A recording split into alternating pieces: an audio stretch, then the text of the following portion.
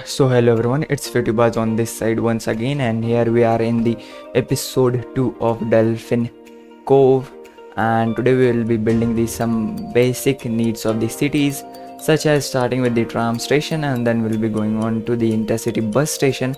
After building these two transportation facilities, I'll just jump back to installing some wind turbines for the city along with some water treatment plants. So enjoy your stay here, that's it.